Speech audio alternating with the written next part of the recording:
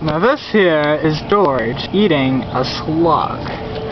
As you observe, it's a very gross and disgusting slug.